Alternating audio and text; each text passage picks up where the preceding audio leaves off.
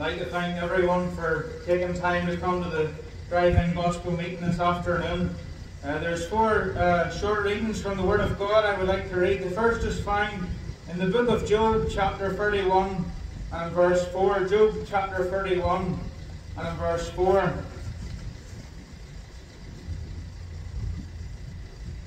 And Job is speaking about God, and he says, Doth not he see my ways, and count all my steps? Doth not he see my ways, and count all my steps? The second reading is in 1 Timothy chapter 1 and verse 15. 1 Timothy chapter 1 and verse 15.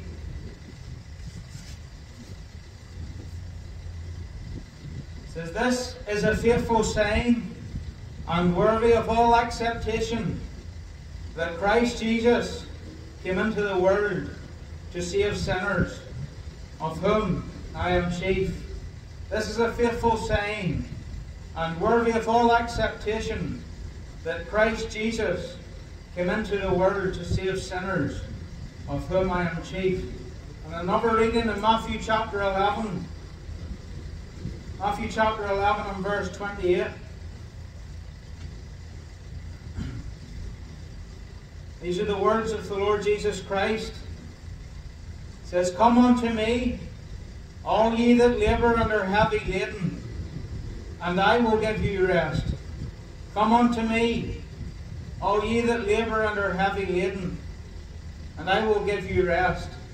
And the final reading in John chapter 14 and verse 3. John chapter 14 and verse 3. Lord Jesus Christ again is speaking, says, And if I go and prepare a place for you, I will come again and receive you unto myself, that where I am, there ye may be also. And if I go and prepare a place for you, I will come again. As I thought of the drive-in this afternoon, a few of these verses came before me. In the book of Job, Job asks the question or makes the statement about God. He says, Doth not he see my ways and count all my steps? You know, I thought of a God who counts. Job says here that he counts all my steps. And you know, for every single one of us in the drive-in, and for every single one of us in Portavogie, and every single one of us in this world, God watches every one of us. And Job reminds us here that he counts all my steps. You know, you are infinitely precious to God.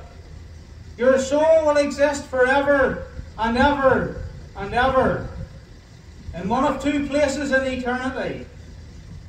If you trust Christ for salvation, you'll be in heaven. But if you leave this life without never trusting Christ, unsaved and unready to meet God, the Bible tells us that you'll go to hell. And as I thought of all who come to this drive-in today, I thought of how precious it is that God counts every one of our steps. It is no coincidence that you're here at the drive-in today. God has seen fit that you are able to hear the message of the gospel again. It is the greatest message you will ever hear because it comes directly from God.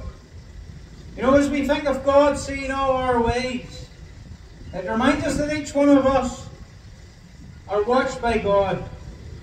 Romans chapter 3 verse 23 tells us, For there is no difference, for all have sinned and come short of the glory of God. And every one of us have a problem, and that problem is sin. We're all sinners before God. Romans tells us we've all come short of the glory of God. And if we were to read further on in Romans, it would tell us that the wages of sin is death.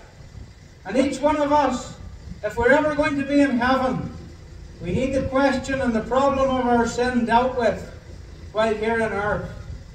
You know, God watches every one of us. He knows what we are thinking about. He knows our attitudes towards things.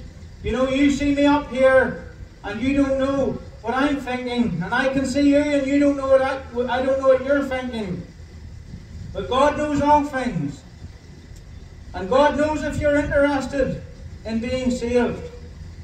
He knows if this is the priority in your life. And we would urge you today to think about your precious soul and where it will be in eternity. You know, the Lord Jesus Christ could say, What shall it profit a man if he shall gain the whole world and lose his own soul? You know, are we speaking to anyone today in the drive-in? And we don't say this casually, but we say it very carefully. Are you in danger of losing your own soul? If you never have a day in life when you've trusted Christ for salvation, if you ever have a day when you believed in the Lord Jesus Christ, can we tell you you're in danger of losing your own soul? And how strange it is that Job could say all those thousands of years ago, Doth not he see my ways and count all my steps? You know, God was counting Job's steps. He's counting yours and mine as well. God is interested in you. He wants you to be saved. The Bible tells us that God, our Saviour, will have all men to be saved. And it is the most important thing in life that you get saved. Far more important than a career, or family, or success. But to know that at the end of life, you're guaranteed a place in heaven is the most important thing you can ever get sorted while here on earth. And Job could say, Doth not he see my ways? and count all my steps. God is interested in you today. He is so interested in you that He sent His Son into the world to be the Saviour of the world. John chapter 3, verse 16 tells us, For God so loved the world that He gave His only begotten Son, that whosoever believeth in Him should not perish, but have everlasting life. God loves you today, and He sent His Son to die for you on Calvary's cross. The Apostle Paul could say at the later part of the Bible, he could speak of the Lord Jesus Christ and say, The Son of God, who loved me and gave himself for me. You know, the Lord Jesus Christ loves you, and he gave himself for you. And today, if you would simply trust in him, you'll be saved. You know, we read in 1 Timothy 1 and verse 15 that this is a faithful saying and worthy of all acceptation that Christ Jesus came into the world to save sinners. Know, in the first verse we thought of God who counts. God who is interested in you. God who wants you to fill a place in heaven. But you know, there's the problem of our sin. And First Timothy tells us of how God has prepared a way of salvation for every single person in this world. Anyone can accept it. It's for whosoever. And we read here that Christ Jesus came into the world to save sinners.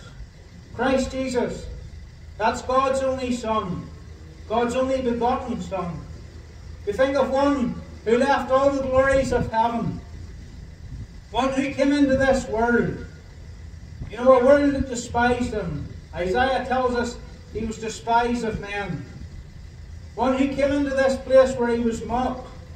One who came into this world where men made fun of him and mocked him.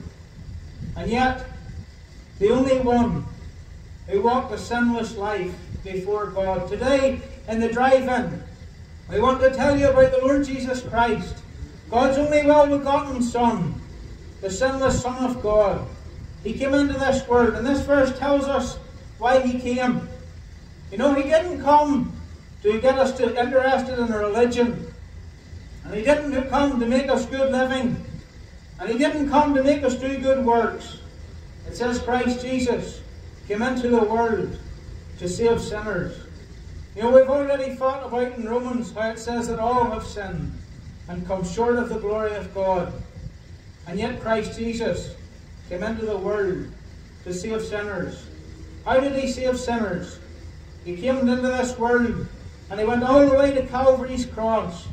And there he was crucified and he bore the sin of the world. He bore your sin. Isaiah tells us in chapter 53 he was wounded for our transgressions, he was bruised for our iniquities.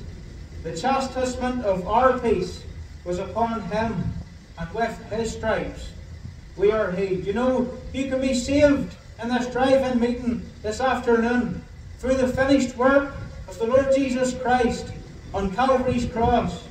There's nothing you can do to save yourself. The Bible reminds us that all our righteousnesses are as filthy rags. The Bible tells us there is none that doeth good, no, not one. It took God's only begotten Son to come from heaven to provide a way of salvation. He gave himself a sacrifice for sins.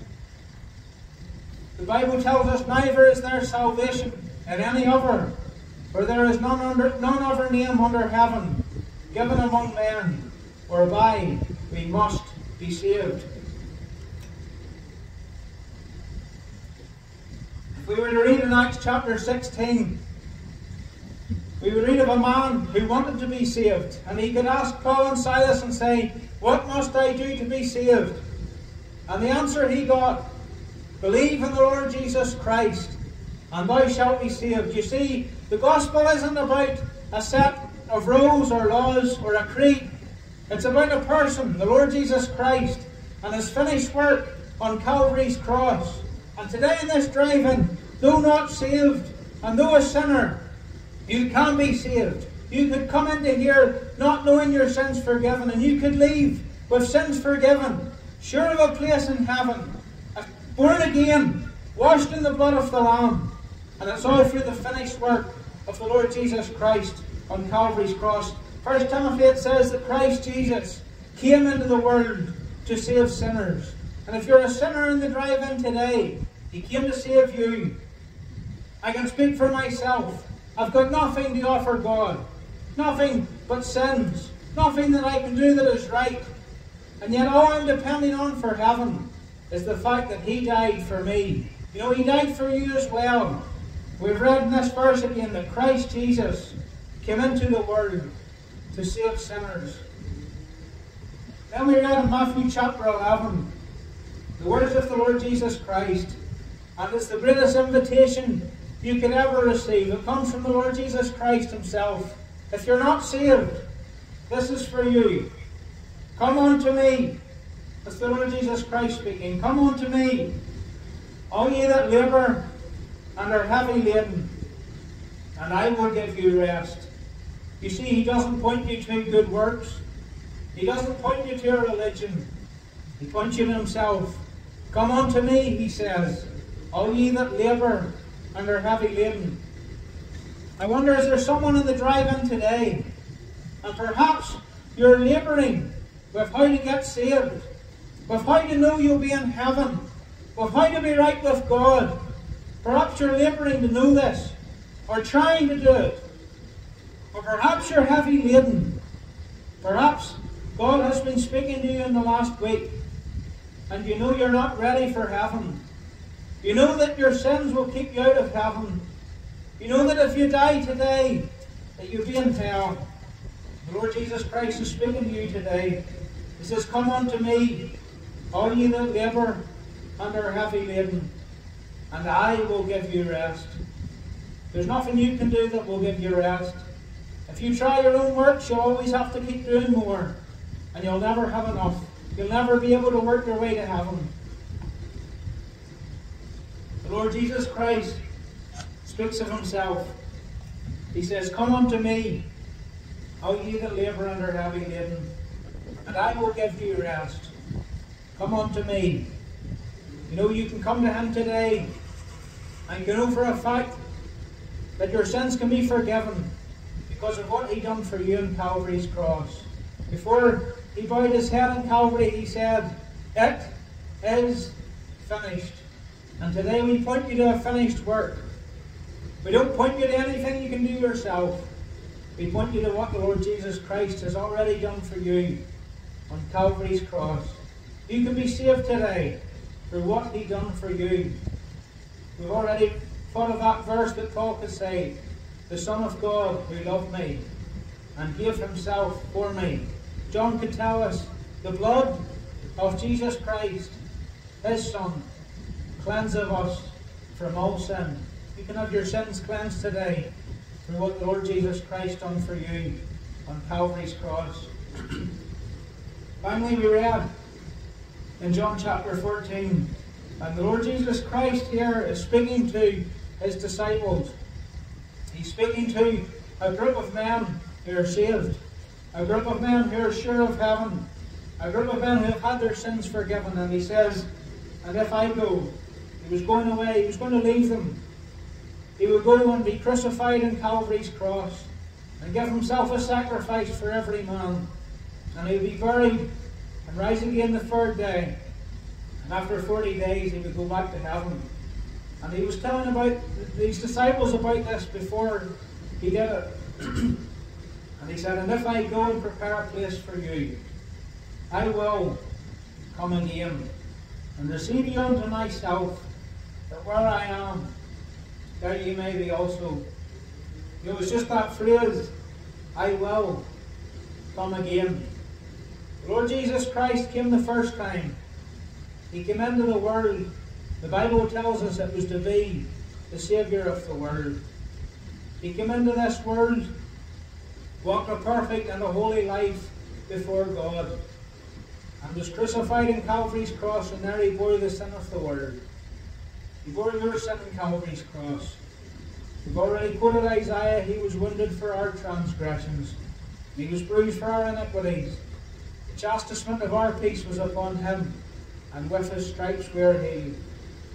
And you know, the first time he came, he came to provide a way of salvation for every single person, for the whosoever. But in this verse it tells us, he says, I will come again. And you know, as I of the driving today, I thought of how many weeks the gospel has been preached here.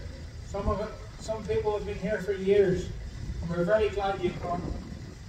The Lord Jesus Christ said, I will come again. He will come again. And this time it will not be to provide salvation for sinners. This time it will be to take every single person who is saved back with him to heaven to meet the Lord in the air. And I thought about how terrible it would be to know the gospel message, to know you need to be saved, to know how to be saved, to know about Calvary, to know about that whosoever believeth in him should not perish, but have everlasting life.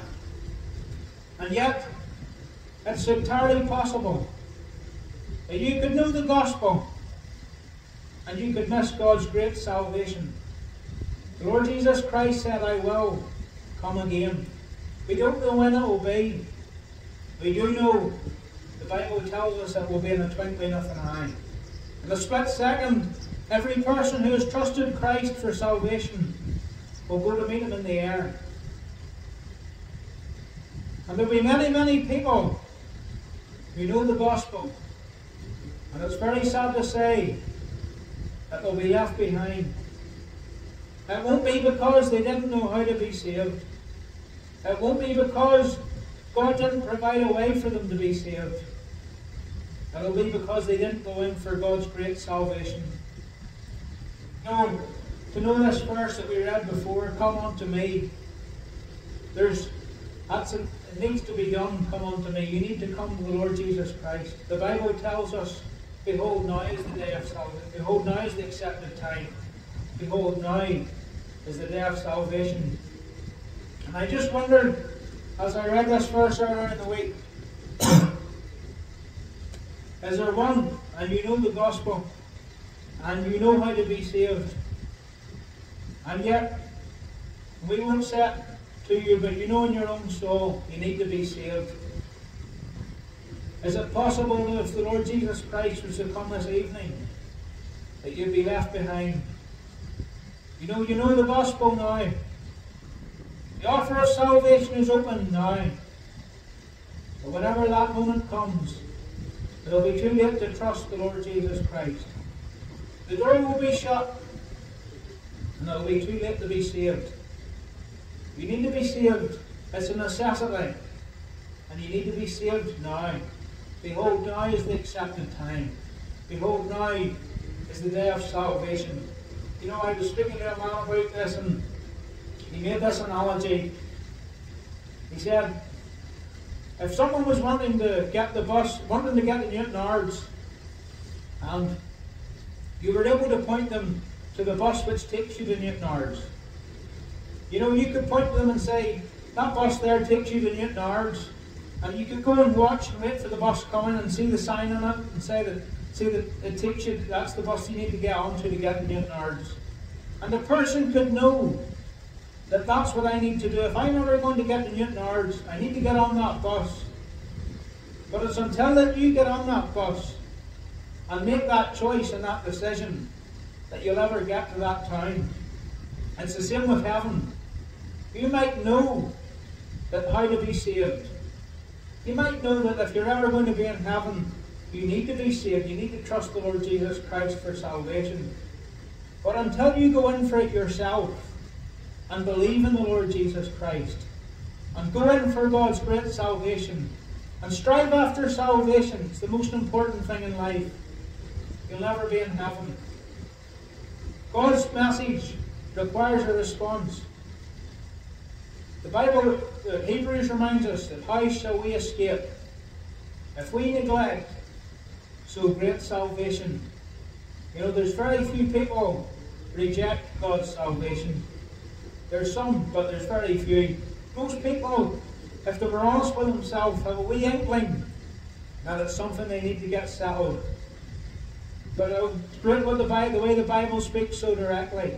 How shall we escape if we neglect so great salvation? Putting it off to another time. Waiting to see what happens next week.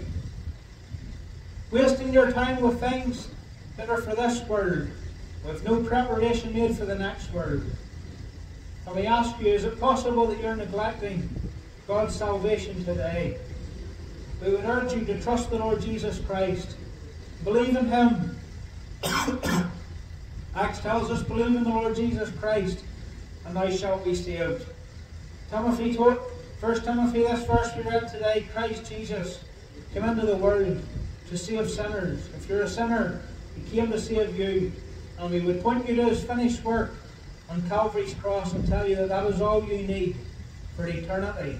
You simply trust in that, depend on what he has done for you. I'll just going read through these before I stop. Now in Job we thought of a God who counts.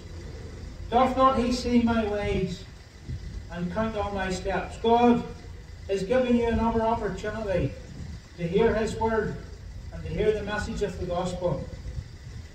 It would be great if you would respond and trust him. It is essential that you respond if you ever want to be in heaven. Timothy reminded us that this is a faithful saying, and it's worthy of all acceptation. You know, there's not many faithful sayings in the world. Most things, most news that you read, when you read it a few days later, the situation has changed or there's got new details about it. Most of the big offers you read about, there's some small print that doesn't really mean it's as good as an offer as you think. But this is a faithful saying. It's faithful because God says it. And it's worthy of all acceptation. Anyone can accept it. Worthy of all acceptation. What is it? That Christ Jesus came into the world to save sinners. He came to save you today if you would simply trust in what He has done for you on Calvary's cross. Then we had in Matthew chapter 11 the great invitation of the Lord Jesus Christ Come unto me, all ye that labour and are heavy laden, and I will give you rest. You will only find salvation in Him. And today He offers you to come unto Him, and He will give you rest. And finally, we thought of Him saying that if I go and prepare a place for you, I will come again. You know, there is a day coming when God's offer of salvation will close. Whenever He comes back again, He says here, I will come again. I would ask, are you ready today? If he was to come tonight, would you be ready? You can be ready. Because Christ Jesus came into the world to save sinners. It's God who counts all our steps. Christ Jesus who came into the world to save sinners. Sinners, if they come to the Lord Jesus Christ, come unto me, all ye that labour and are heavy laden, and I will give you rest. And the Saviour who's coming again, he said, I will come again. But we ask you today in the drive-in, are you ready? It's important that you're ready. Believe in the Lord Jesus Christ, and thou shalt be saved. Thank you very much for listening. We'll just pray to God. Blessed God, we come before thee and give thee thanks for another opportunity of the message of the gospel being preached. We just ask if there's anyone in the drive-in who is not ready for eternity and is not ready to meet thee, that today they might turn away from anything they could do themselves and simply depend on what has been done for them on Calvary's cross. We give thee thanks for thy Son. Give thee thanks for his one sacrifice for sins forever on Calvary's tree. And just ask today that a sinner might simply, in all their need, trust thy Son for salvation and come unto him. And we know thy words promise that they'll find rest there. They believe in the Lord Jesus Christ. They shall saved. We give thee thanks for the gospel and give thee thanks for thy Son. Commit the rest of the day into thy hands. Amen.